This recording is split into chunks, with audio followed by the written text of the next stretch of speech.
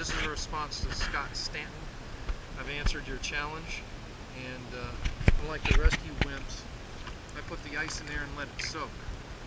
So I, I see a bunch of you pouring ice in there and then immediately dumping it on you, and that's a bunch of bullshit.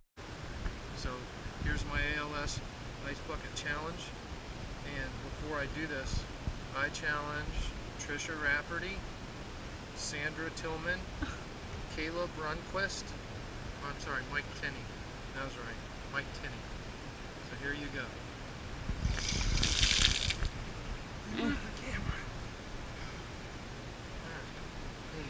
Dad,